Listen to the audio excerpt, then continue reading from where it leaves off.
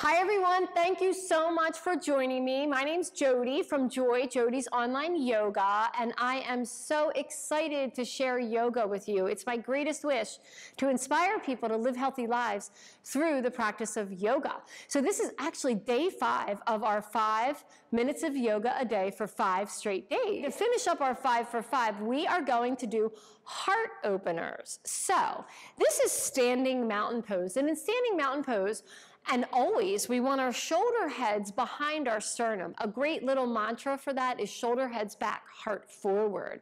Let me so, show you our tendency and do it with me. Our tendency is to round our shoulders forward. So go ahead and do this. This is our tendency. And I'm kind of exaggerating, but you can see that when your shoulder heads come forward, these upper back muscles get overstretched, very tight, and weak.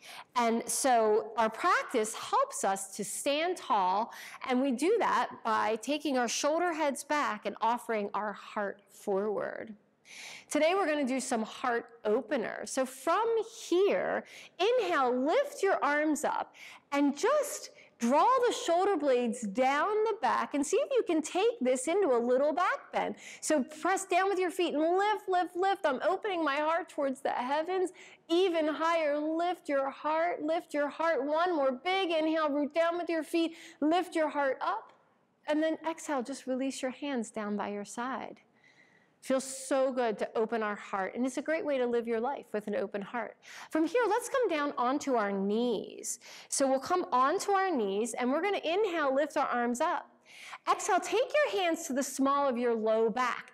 If you can, the fingers are going to be pointing up. If not, they can point down. As you inhale here, hug in with your elbows. Draw the bottom tips of your shoulder blades down the back and begin to lift your heart from behind. So again, we're opening the heart, lifting it, lifting it, beginning to look up at the sky.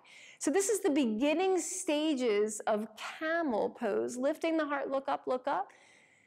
Beautiful. And then exhale, release the hands.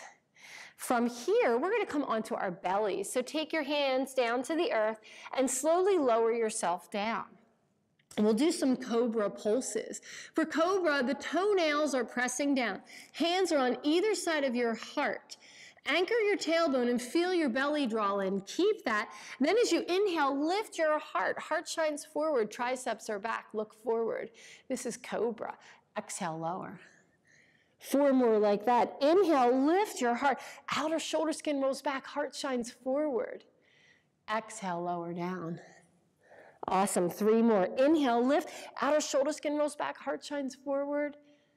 Exhale, lower. Two more. Inhale, lift, heart forward, triceps back. And exhale, lower. Last one. Inhale, lift, heart forward, triceps back exhale, lower. From here, let's press up into cat, and we'll finish our heart opening pose with a pose called heart pose or anahata asana. So from your knees, you're gonna take your hands out, use TP fingers, and you want to have a straight line here from your knee to your hip. So with your hands out and your arms nice and long, slowly begin to melt your heart, melt your heart. So the armpits stay lifting and melt your heart, melt your heart. You really feel your shoulders and your heart open. And so just take your time. Eventually, Anahata Asana, the heart comes all the way down to the earth and then we'll lift our chin to look forward. But if you're not there yet and you're back up here, just keep the armpits lifting as your heart melts. Anahata Asana. From here, slowly come out and unwind. Thank you so much for joining me for this five for five yoga challenge. I hope you enjoyed it. If you did, make sure you comment, like, share the videos, or and email me. Let me know what you thought. Thank you. Have a great day. Namaste.